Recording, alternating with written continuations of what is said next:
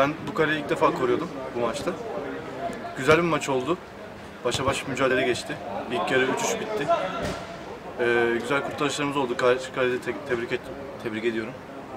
Karşı takıma teş- teşekkürler. Güzel bir maç. Berabere bitti.